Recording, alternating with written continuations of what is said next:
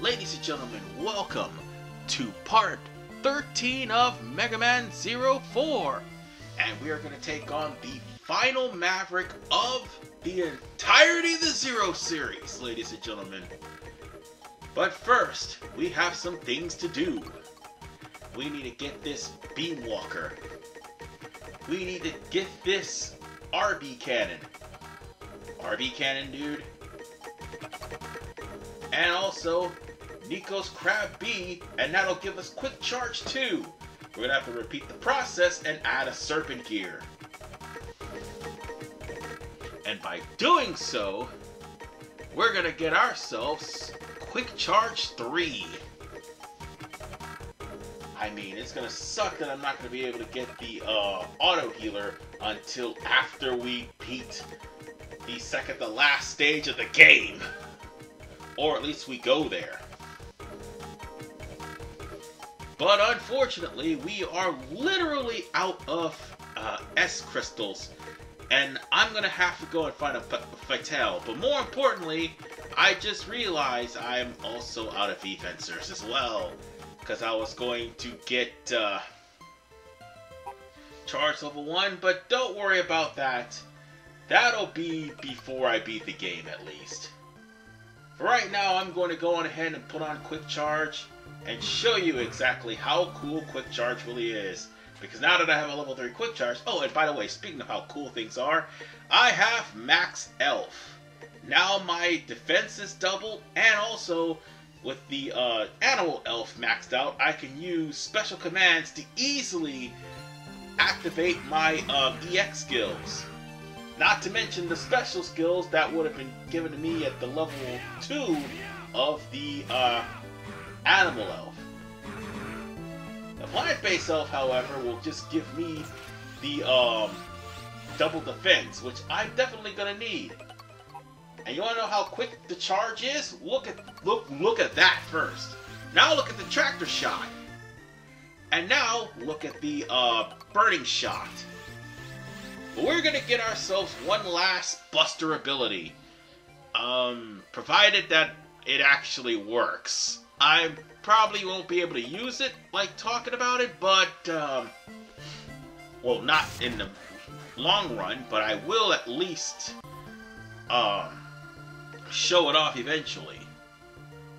But I went back and got a Fatale, and the, that's the only thing I need to do in order for me to get an S Crystal. And I don't think we need another S Crystal ever again.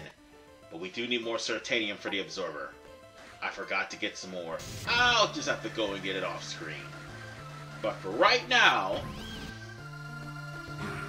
go to this guy right here, and this will be the last sub-tank of the game. Well, not in the series, but of the game. Because ZX actually has four sub-tanks. I'm not sure about Advent because I never played Advent. ZX I have. So on that note, it's time for us to steal up our resolve and go after the final maverick of the game, which is Popla Cocapetri. The guy who was talking all that smack and wanted to smoke back in part two. Well, guess what? All of his friends is dead. So now it's time for to make him dead as well. And what can I say about his stage? It's pretty much forgettable, just like he is. The only reason I'm doing this is because I'm getting the EX skill for him too.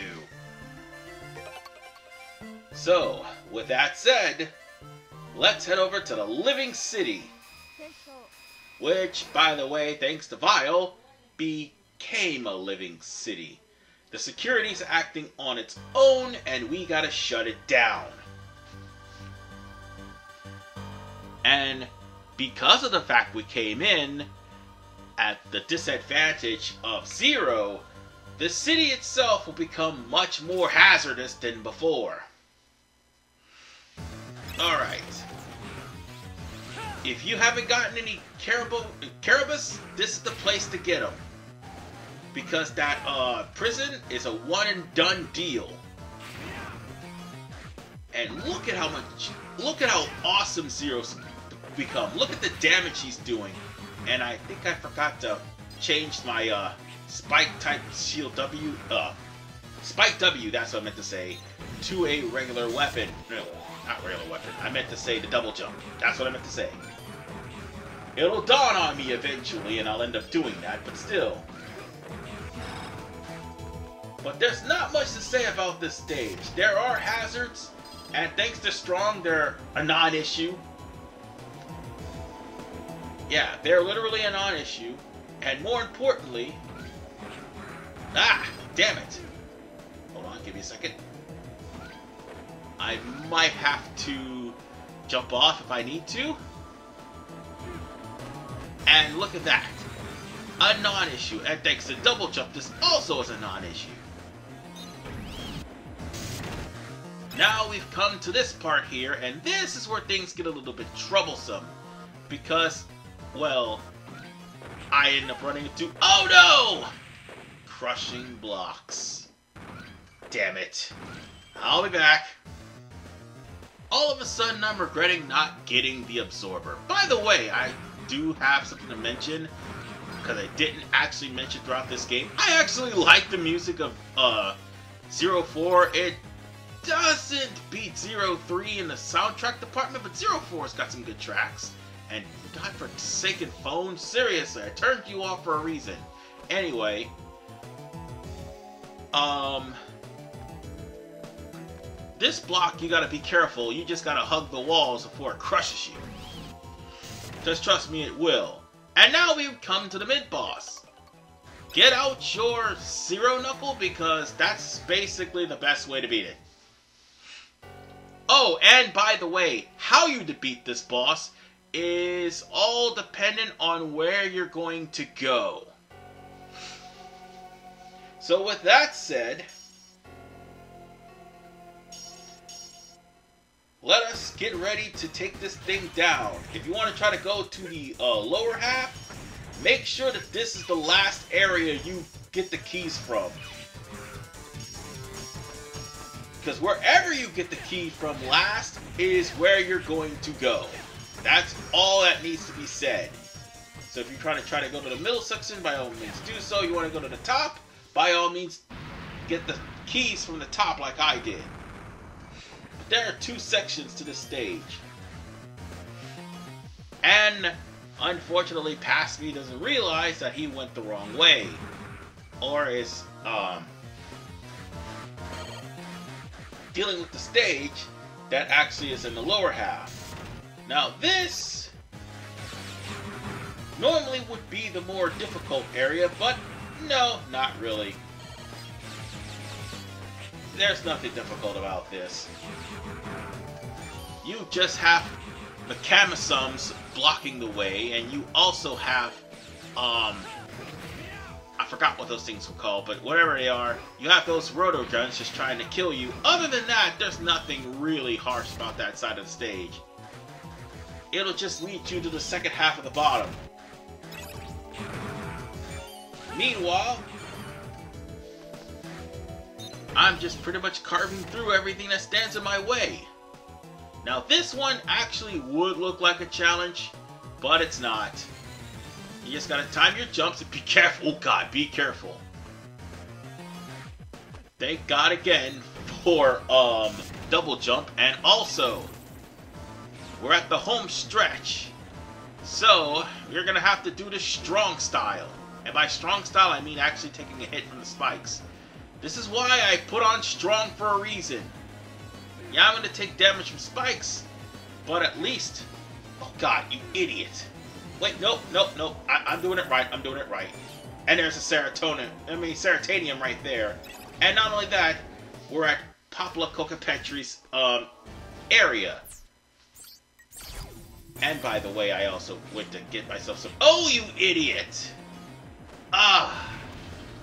As I was saying, I was trying to get myself some help, and I ended up falling into the spike pit. But that's okay. I went and stopped it to try to get the 10 minute mark. Well, beat the 10 minute mark anyway. So here we are! Yeah! Remember me? You were talking all that smack back in part two, and now all of your friends are dead. You're the only one left. And you are by far one of the most forgettable of the Einherjar. In fact, you have probably the worst ability in the game.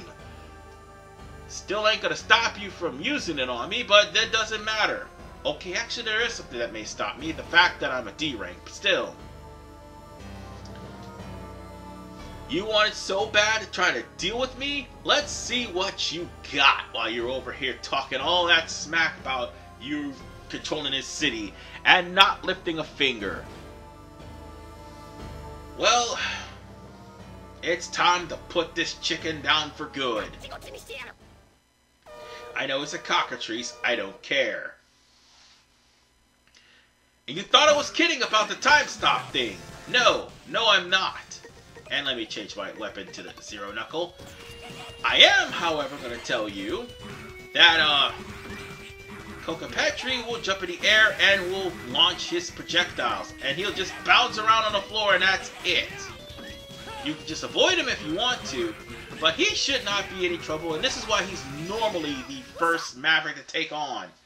Now, if you're in an A or an S, he will stop time have his projectiles in midair, whether you're frozen in air or not, and wherever they land, that's where they're going to land. Otherwise, this guy's not that tough at all. And with that, Cocapetri is down and out for the count. Oh yeah, look at you. Popping all that good shit back in part two, and now you got sliced in your chest. You eat a dick, nigga. You eat a dick. Oh, and I also got Time Stopper as an EX skill. But nonetheless, ladies and gentlemen, that's all the grunts. We've stopped Ragnarok, and more importantly, we saved Area Zero. Um, wait a minute. Hold on. Let me rephrase my myself. We haven't stopped Ragnarok yet. There's still one last person on the loose. And uh, we're gonna have to deal with him. Well, actually, make that two because Dr. Weil's still on the loose. But nonetheless, ladies and gentlemen, we're gonna have to deal with Dr. Weil's lackey, the craft, in the next part. Do you want to know why? Oh, you'll see. Let's just say it's not gonna end well because he goes full Neo Arcadian. Never go full Neo Arcadian.